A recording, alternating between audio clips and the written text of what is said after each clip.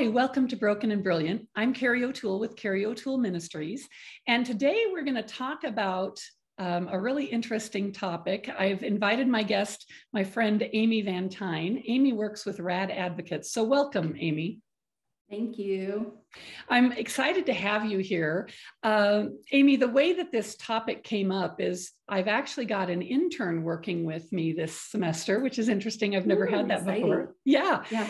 And Shelby is a senior in uh, undergrad, getting her degree in psychology. Mm-hmm. And she needed an internship. So she called me up and asked if we could meet and talk about it.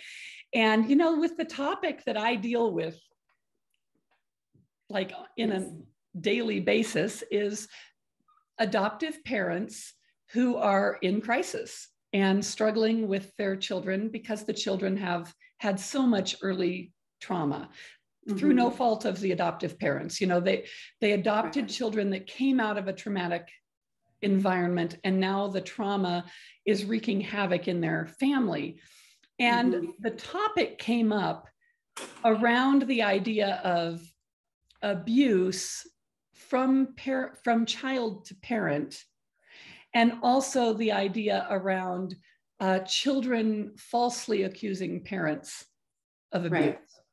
Right. And so I thought of you with RAD Advocates. Can you share a little bit about what RAD Advocates is and what they do? And then we'll get into this topic a little bit more. Sure, absolutely. So, RAD Advocates is an organization where we support uh, caregivers, families who are raising children with reactive attachment disorder, and we help them to navigate the disorder, whatever that looks like for each family. So that could be just helping them set goals, safety plans, uh, locating appropriate therapists to helping them navigate our child welfare system, insurance systems, out of home placements, uh, things like that. And with that, it's interesting because uh, quite a few of our parents will come to us with cases open with uh, Department of Social Services for false allegations. So yes, this is this is a topic that is one of the many complexities of this disorder in the web of trying to parent a child from trauma for sure. Yeah, so let, let's talk just a little bit. I thought maybe instead of like me just interviewing you, how about we just have a conversation about this because we know each yes. other well and yeah. uh, we run in the same circles and we've had similar experiences in our own lives and with the clients that we work with. So um, we do get clients. You know, I was thinking about this kind of the age of Me Too, the age of believe every person. If somebody says that there's an allegation, then as a society, we should just believe them. Right. And, you know, probably, I don't know what percentage, but a high percentage, that's true we really Absolutely. should believe people. And so we're not saying, you know, doubt every person. No. But we happen to work with trauma, and mm-hmm. a lot of traumatized people want to control their environments. Can you share a little bit about that with the kids? What goes on in these families where there might be allegations that are false? Right. Well, and I see it from many different angles as far as where the allegations can come from. A, lot of times, the false allegations, I think, come from previous memories or you know the body remembering certain right. feelings um, i was actually just having a conversation this morning with one of our members that i work with where um, we were discussing you know safety planning and and when is her child trigger and what is triggering him. And we were able to identify by asking him to go to his room. And of course children with this disorder want to gain control and create the chaos. So of course he's going to refuse to go to his room. Uh, and so then you know she's still trying to maintain parental authority. And i said go to your room and then guiding him to the room and this happens all the time with so many parents. So then you're guiding them to the room, and it could be something that's just a small hand, you know, on, on their back, guiding them.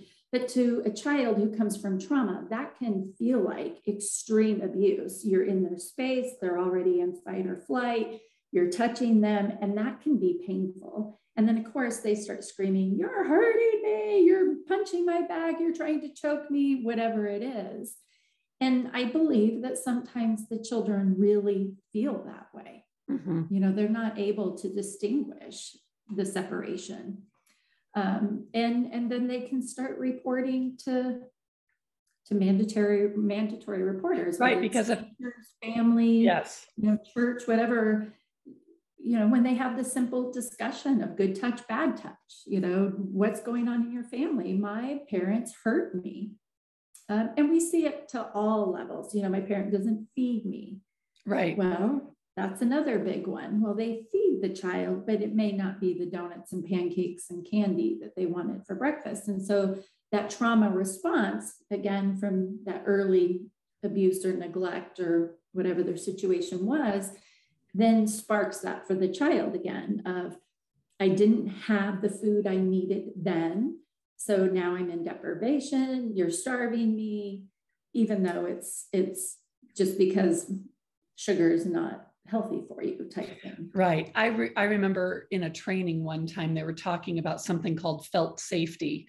And yes. that's, you know, we can tell a child they're safe all we want and we know they're safe, but if they don't feel safe, until they mm-hmm. feel safe they're not going to feel safe and so even around food insecurity if a child grew up with you know early years had food insecurity or deprivation or whatever uh, the meal could be placed on the table and we're you know you're still finishing off the final touches the potatoes aren't done yet or whatever yeah. and the child sees the meal on the table but they're saying they're starving and they want something right now and if you don't give it to them right that minute you know one of the trainings that i got was make sure they always have something so they can have it even if the meal is sitting right there on the table or let yes. them get started early or whatever. But if you're not at a meal time and that happens right. and then they go to school or they go to church or they're on their team and you've got a mandatory re- reporter i was starving last night and my parents didn't feed me. Feed me. Mm-hmm.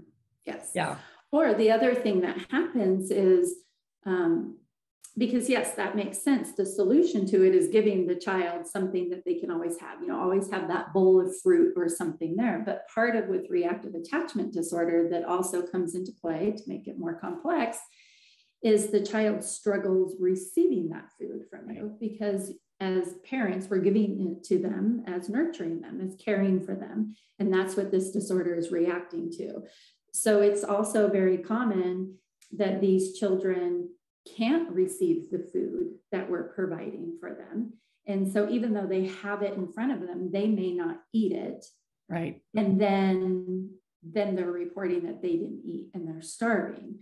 Um, or the other thing is they eat it, but then they go and eat out of the trash um, because that's what's comfortable to them. I know my child oftentimes would prefer to eat out of the trash than eat the meal that we provided for her. You know, and that to people that don't know this disorder, that sounds crazy, you know. Right. I remember talking to an attachment specialist early on in our journey. And he said he knew of a child who actually was a biological child, but had had some medical trauma right yeah. at birth and was it, that created this reactive attachment disorder. Yeah. This child was convinced that his mother was trying to poison him. Mm-hmm. And so he would not eat anything that mom made. And mm-hmm. so they would go to a potluck or a, something at a friend's house for a party or something at church. And he would go and ask mom, What did you make? and not eat it. So he could eat everything else.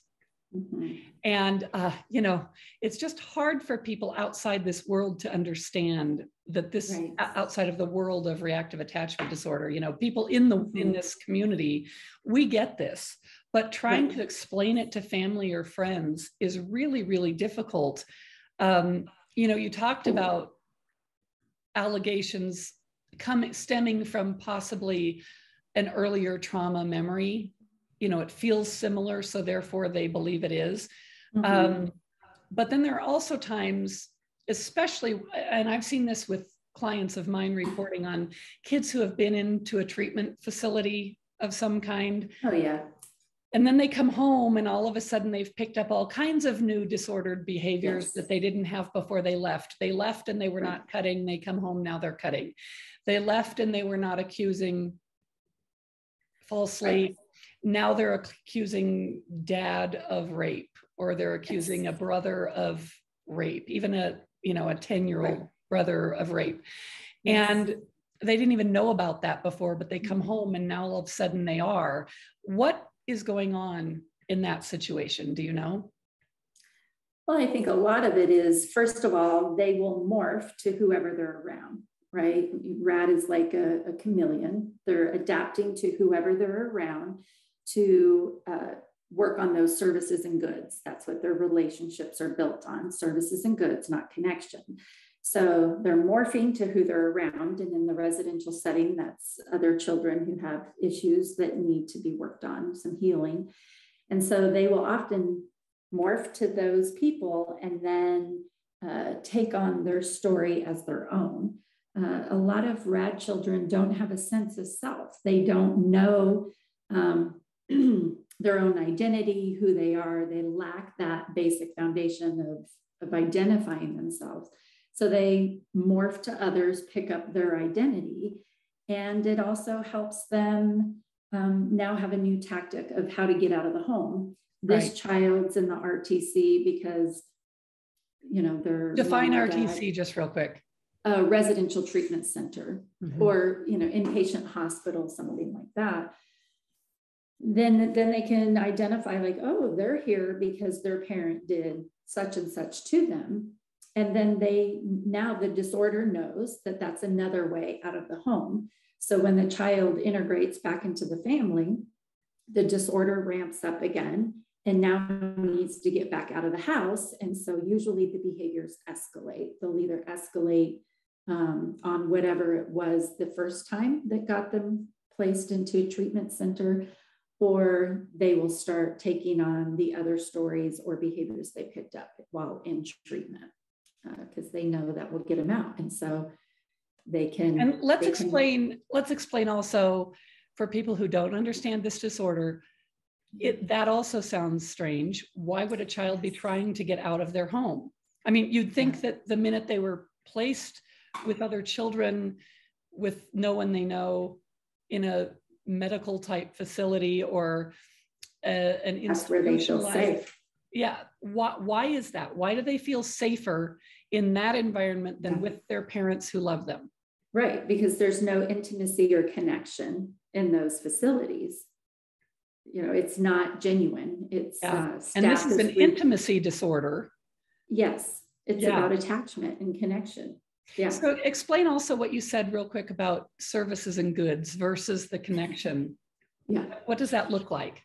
So based on their early development all of their relationships were built on services or goods because there wasn't um, the opportunity whether it's they're adopted or bio it doesn't you know it doesn't matter for the disorder. There wasn't an opportunity in that early developmental stage to develop that firm healthy attachment with the with one primary caregiver so whatever the circumstances were that developed the disorder so their relationships are only built on getting a service or a good met because they learn not to trust adults in charge to meet their needs. Right, right. And that's one thing I, I have seen many of my clients struggle with is they're recognizing their child truly does want this goods and services type mm-hmm. of relationship, meaning I'll do this if you'll give me that.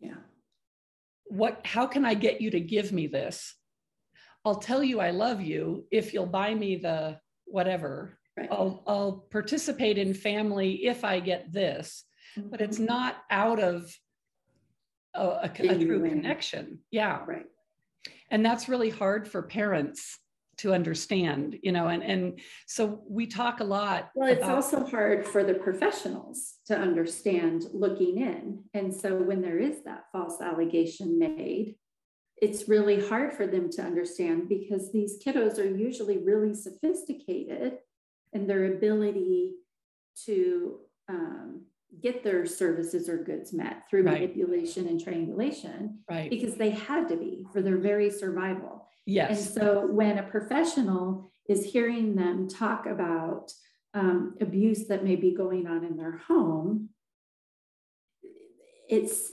um, it's pretty much believed well and it's very convincing and yeah. we're as a society we're not used to children no. Uh, we don't even understand that there are children who have been so traumatized that they are in constant fight or flight.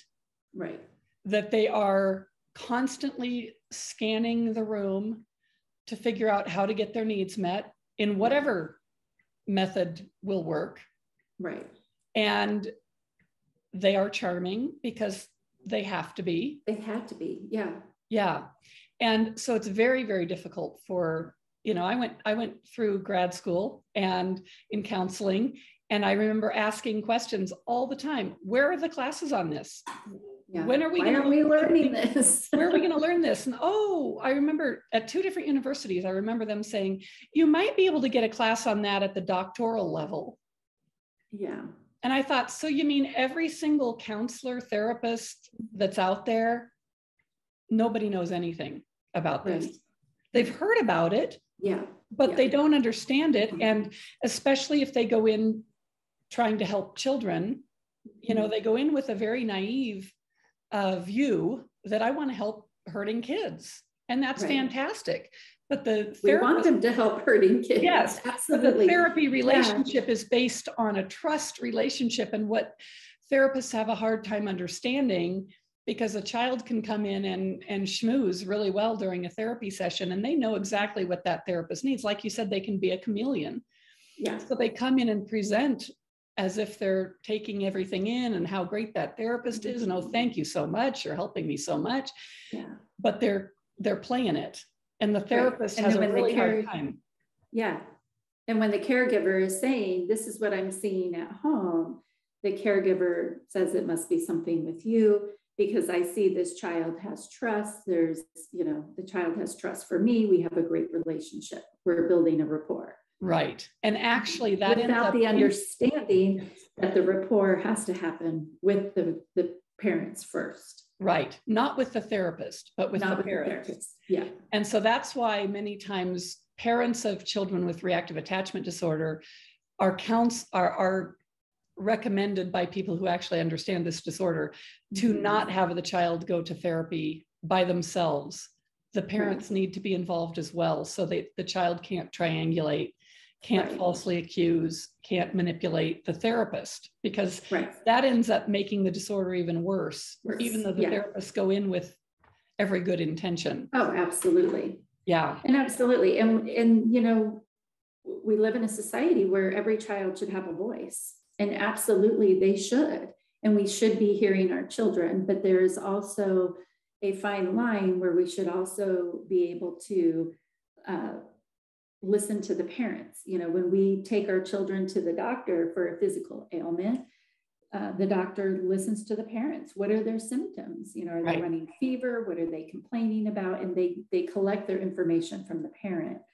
Around mental health, they actually push parents out and they only ask the child, you know, yes. where, where, how are you feeling? And when you have a child that again doesn't have that sense of self, and, and a lot of these kiddos can't even identify their basic emotions, um, they're able to tell the therapist, you know, they could they could make anything up and say that, but it's not genuine. And so it's not really helping the family heal right. and move forward.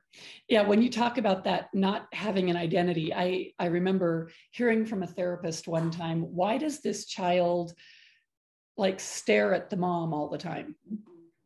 And the therapist said, because through age three, that child didn't have the normal development, which child development books talk about this all the time that a, that a child will you know they cling to mom for Absolutely. the first year to two years and then they mm-hmm. start getting down but mom's always that home base that safe yes. place that they can come back to they get down from mom go play but as soon as mom comes back they run they're so excited to get back to mom yeah. they can't stay down for too long they have to keep coming back that fills them up.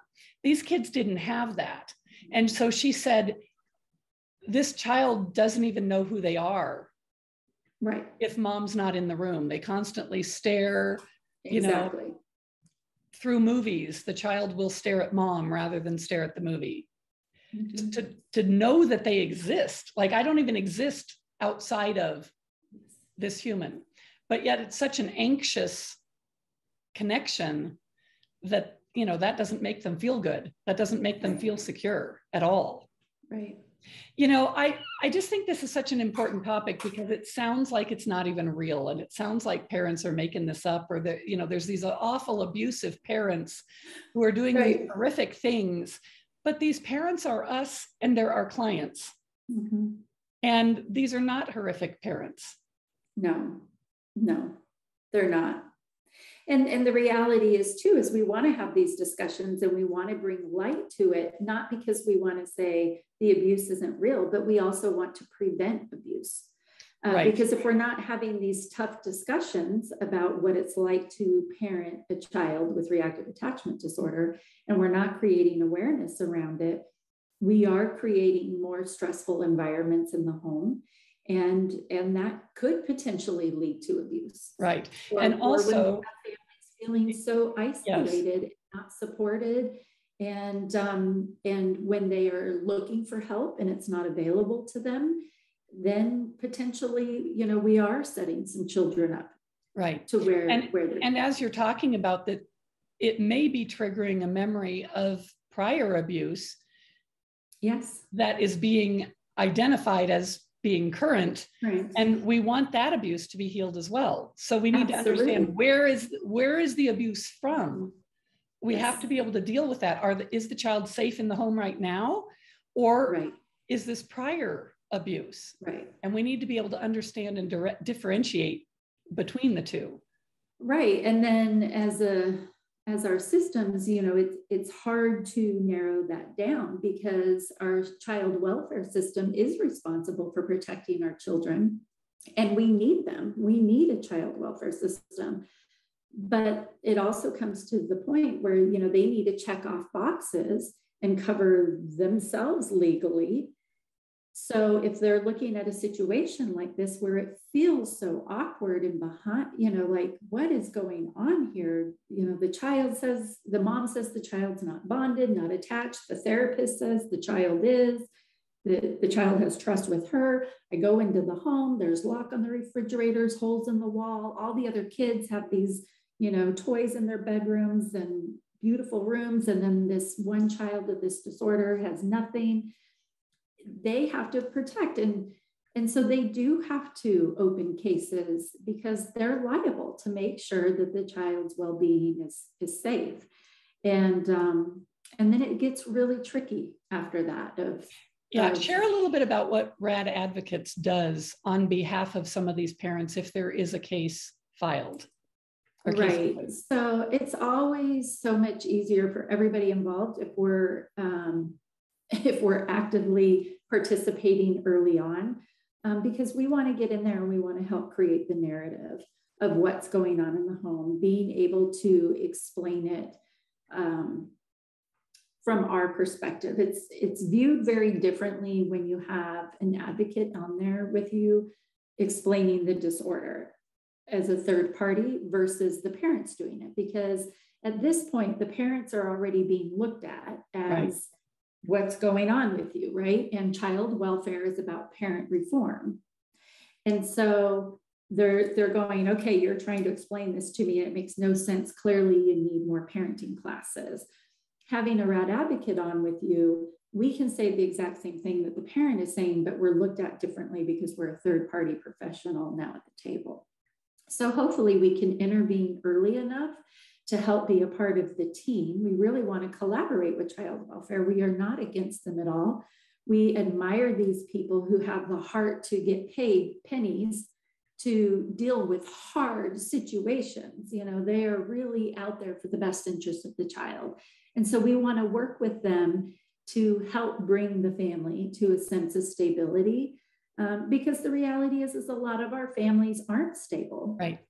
You know, we're, we're not. we we're going through really hard times. So we want to be a part of the team to help bring stability, utilize the resources that social services may have that are effective. However, not very many of them are uh, due to the disorder. Right. But to help educate on that and say, okay, how can we work together as a team and, and bring about safety for this family and, and really offer education on the disorder.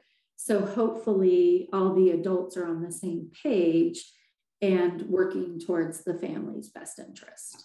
You know, Amy, you said two things in your description of why social services or child protective services may see something in a home and go, hmm. And I just mm-hmm. want to give you a chance to share a little bit more about why a parent might have a lock on a refrigerator, why there might be holes in the walls, and why a child might not have all the things in their bedroom when their siblings right. do. Right. Well, the holes in the wall are typically from the child raging. You know, like we talked about earlier on this on our talk was, you know, they're always in fight or flight. So those children who are in fight mode, they are going to be raging and they can be pretty destructive in their rages. So yeah, they, they could have holes in the wall, which also leads to safety issues. Um, it, you know, if they're in their room and they want to self-harm or they want to harm somebody else, there's a lot of items in a room that can become dangerous. I had no idea until I parented a child with RAD what could be used as a weapon. Um, heater vents became weapons, curtain rods, um, board games. I mean, the things that became weapons was shocking. Um, and so, for our safety and her safety, a lot of the things had to be removed from the room. Right. And what about so the lock on the refrigerator? Yeah, and the lock on the refrigerator, a lot of times that's because they're getting up and they're they're gorging themselves. So we understand that children from trauma want to hoard food, and that's that's one thing. And um, again, depending where the child is at on the spectrum and their severity, some children, you know, for my daughter, we had a drawer in her room that we would allow her to hoard her food. You know, she always had food in there. But when it becomes an issue is when it's, you know, food that's going bad, and then you're starting to get rodents and bugs and then it really becomes a cleanliness issue. Or uh, my daughter didn't have this problem, but some children will gorge until they're sick. And it really is unhealthy for them. And so having to put a lock on the refrigerator to maintain their health and their well being. Yeah. And these are just things that, you know, the typical public doesn't understand. No, no, because if you have a child from trauma that, and, and really how a lot of social workers will perceive it is, yeah, I understand this child um, was deprived food from early on and they starved. And, and so why would you lock food from them now? Like you're, you're abusing them. You're contributing. You're locking, yeah. You're contributing to their abuse again. Uh, but what they don't understand is that that piece where they don't know how to stop. They don't have that sensor to tell them that they're full. They don't have an understanding that there's, you know, an unlimited supply of food in the refrigerator and it will always be there when they're hungry. Well, and even things like soda or something like that. You know, if you had a six pack, they could down the entire six pack. Yes. And Yes. So you have to lock some things up because they eat the entire package or drink the entire thing. Yes. And uh, you know, you're allowed one cookie, but you're not allowed the entire bag. Right. And they they can't sometimes have the control over that. Yeah. They don't, they can't regulate themselves. Right, right. Yes. Um, what about child on parent abuse? Have you seen this? Where how Absolutely. often does this happen? What what does it look like? Well, I think if we you know, really want to start talking about what is abuse, right? I mean, there's physical abuse, mental abuse, emotional abuse, spiritual abuse, financial abuse. There's all kinds of abuse. And so just in, in my example there of everything in the room becomes a weapon. That is abuse. Now, this is where it's super complex because as parents, we definitely have an understanding of why our child's behaving this way. Right. You know, we we can identify and compassion and empathy. Compassion and, and empathy. We can identify my child's triggered, they're triggered by our love. And so I'm going to continue just to keep loving. I'm going to be consistent and, you know, show that eventually maybe the child will be able to receive love. But what happens is, is it really becomes that abusive cycle, right? We have where it doesn't matter who the person is, we're all human. And so abuse affects us all the same way, whether you're six months old or 80 years old. Abuse is abuse. We all perceive it the same way, even though we might have a more of a logical understanding of why we're being abused. So just because it's our child who is being physically aggressive with us does not mean that it's not abusive and that our bodies don't respond the same way. So we start walking on eggshells, right? The cycles of abuse, you know, there's so many things out there. There could be one that there's six cycles of abuse or whatever. We're just going to go with the basic. There's walking on eggshells, the explosion, and then the honeymoon. Those are the stages of abuse. And that's what our children do you know we're we start walking on eggshells because if we're too intimate with them or we have too many expectations of them then they explode they become dysregulated. And during that explosion who knows what we're going to experience? Um, i you know i see myself and as well the families that i've worked with that explosion can be pretty scary at times. And then of course this is your child that you love and you're trying to protect them. So, what do we do as parents? We interject, right? So, if your child is raging and throwing things or um, threatening to jump out the window or or threatening to harm you or, or threatening to harm you with you know something a lamp or whatever or your other children in the home you know you're going to intervene and oftentimes it gets physical and and then it happens, you know, usually the child will eventually calm at some point. They will rage themselves to exhaustion. Um, some last longer than others. I know my child could go hours. And then at the end, they finally, they're exhausted. And then as parents, you have that heartfelt connection. How many times have we all done that? Like, wow, you were really angry and what was going on for you? And you know, next time, where can we like think back to where the trigger was and where can we insert coping skill, whatever one you want to insert. And we do this of like, how can we change this pattern? And the child may appear to be receiving that from us like, yeah, okay, yeah, next time I'll breathe or next time I'll hit my pillow. And so we think we're having like this honeymoon phase, right? Like, okay, maybe this is it. And then maybe for 24 hours, we don't have any behavior. So we think, okay, this is working. And we go into that honeymoon phase. And then it start the cycle starts over because as long as we're not healing the disorder, then we're walking on eggshells. And the more it happens, the more in that cycle we get as parents. And the harder it is to get out. And it, the harder it is to get out. And not only as parents, but also the other siblings in the house. And so pretty soon we're all living in a domestic violence situation where everybody's walking on eggshells, waiting for the next explosion. Then the explosion happens and everybody's, you know, traumatized by it.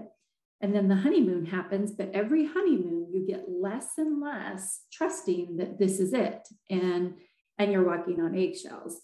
And then that becomes another barrier when trying to heal this disorder. Right. So, a professional working with a family who's stuck in this domestic cycle of abuse won't understand, um, even if the child with RAD is making incredible strides in healing, the professional may not understand why the family isn't willing to believe that.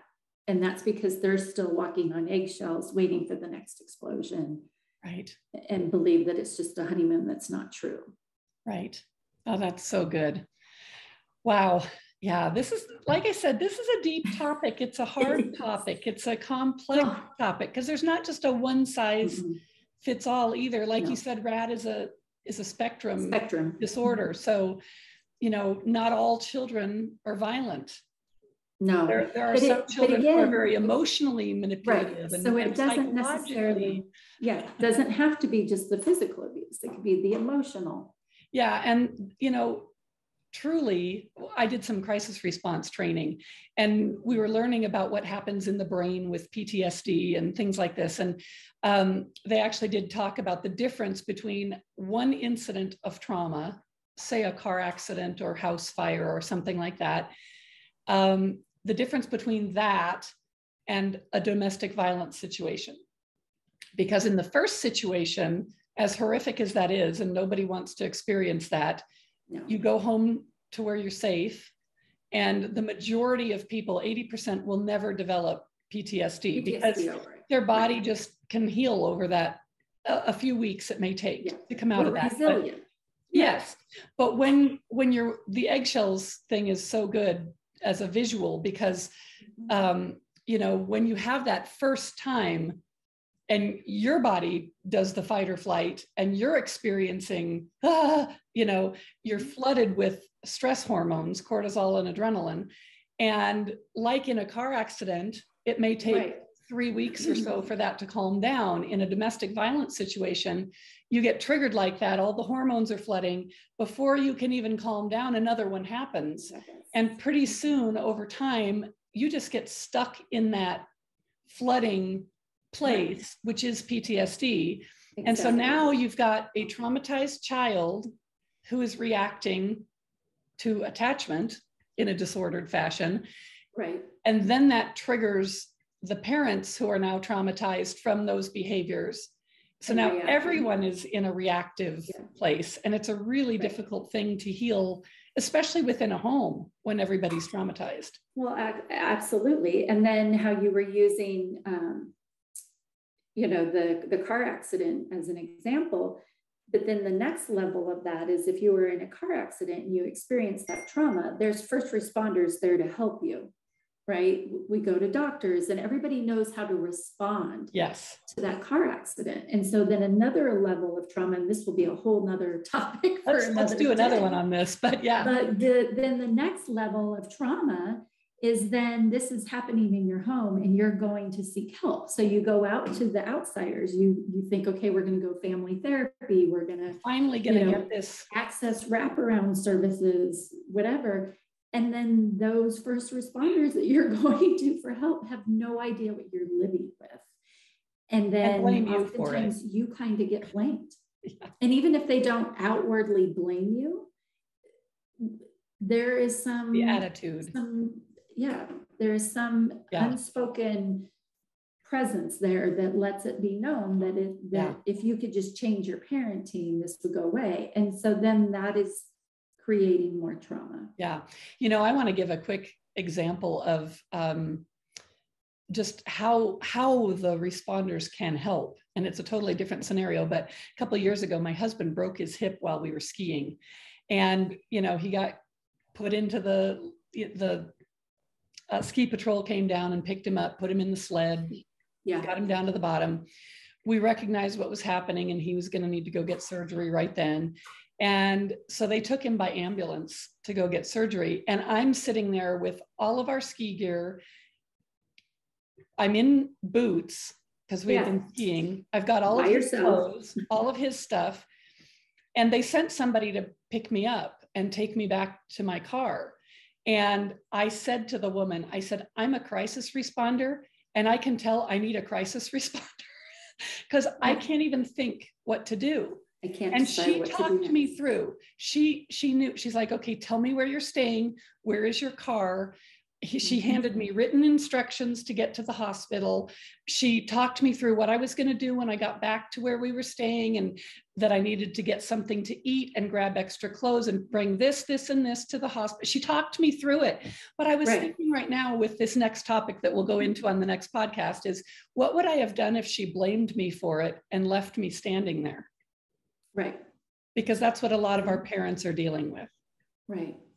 And that's where we come in as rad advocates yeah. of how do we help you? Yeah. Yeah. And that was the question is where do parents go for help? Where can they find you, Amy? We are at radadvocates.org and we have uh, memberships. So if you go to, I'm not sure if it's the join page or support. I'm not very tech savvy. I don't don't know our page. You're good in other things. That's all right. Yeah, yeah. um, if you go to radadvocates.org, you can look through there and you'll find our membership page.